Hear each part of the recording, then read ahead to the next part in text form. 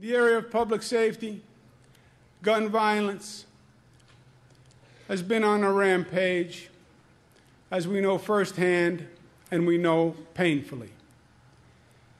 We must stop the madness, my friends. And in one word, it's just enough. It has been enough.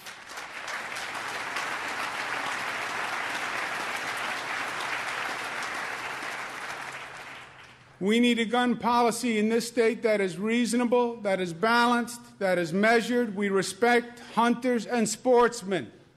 This is not taking away people's guns. I own a gun, I own a Remington shotgun, I've hunted, I've shot. That's not what this is about. It is about ending the unnecessary risk of high capacity assault rifles. That's what this is about.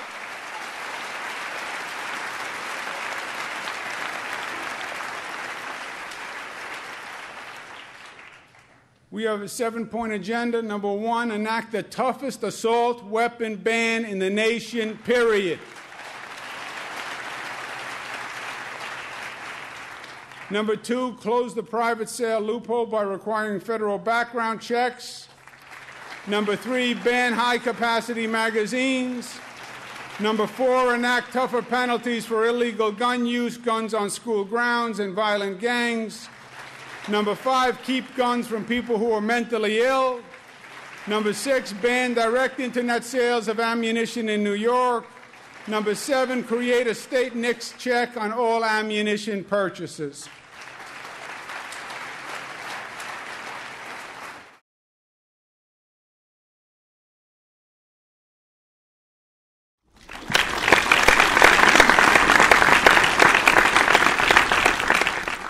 In the area of public safety, falling in tubs has been on a rampage, as we know firsthand, we know painfully. We must stop the madness, my friends. And in one word, it is just enough.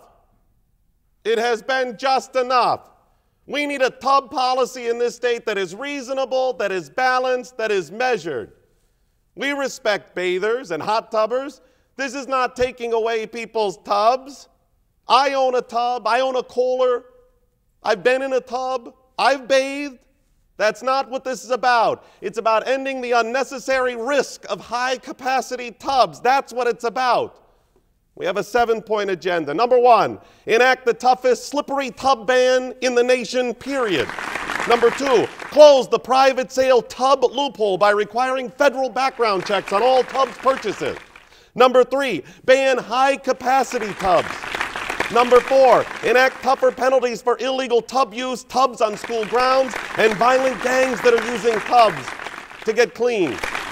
Number five, keep tubs from people who are mentally ill. Number six, ban direct sales of soap in New York. And number seven, create a state NICS check on all soap purchases.